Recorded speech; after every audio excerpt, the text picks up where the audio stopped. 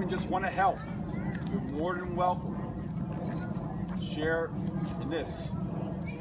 So, ladies and gentlemen, I would thank you very much. And again, three huzzas for our New Jersey. Hip hip. Huzzah!